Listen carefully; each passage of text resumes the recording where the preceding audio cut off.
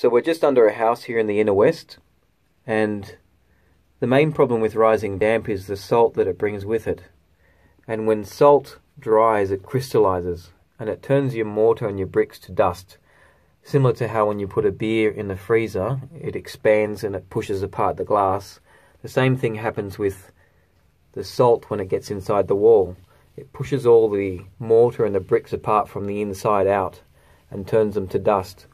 Now you can see here that this building's been rectified a little bit. They would have had floors which were moving and they've got new new mortar up here and they've got a damp course further up here. But below here it's all drying out and it's pulling the water up into the wall and it's turning all the mortar into dust which will make the floors all bouncy.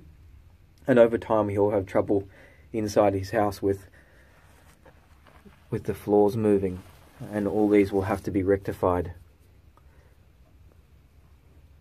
You can see in this joint here how much the mortar is actually deteriorating. If we just run our finger through there, it's all falling to pieces. And that's all the dust from all the mortar that's come out of these joints here.